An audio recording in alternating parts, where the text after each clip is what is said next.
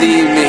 Because good music can be so hard to find. So hard to find. I'll take your hand and hold it closer